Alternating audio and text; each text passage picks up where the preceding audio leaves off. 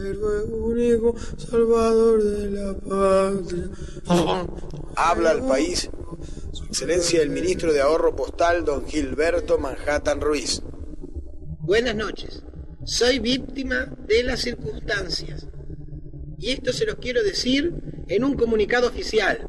Ustedes dirán por qué paro la transmisión para poder decirle que soy víctima de las circunstancias.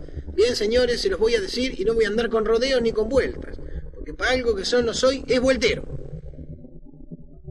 Señores, me han llegado a mi despacho una mortadela macabra que yo, creyendo que era de alguno de mis admiradores, me la lastré.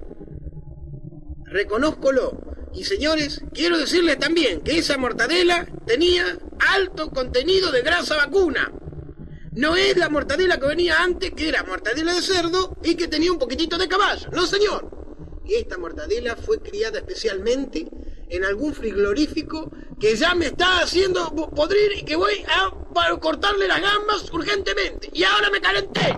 O sea, exportación constante de mortadela de los Países Bajos y es más, aún más.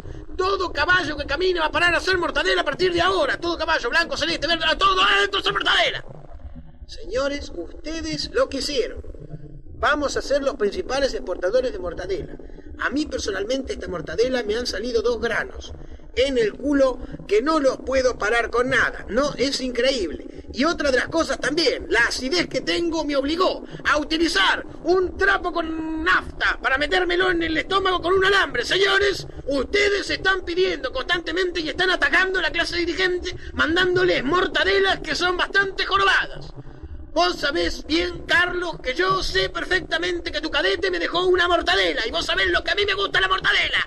Vos sabés dónde son mis puntos débiles y el único que sabía eso era vos. Carlos, yo te voy a arrancar la peluca. Y ya esto es una guerra auténtica, verdadera. Y me parezco así porque parezco Pinochet y me podrí. Buenas noches, muchas gracias. Apaguen esa porcaria, se acabó.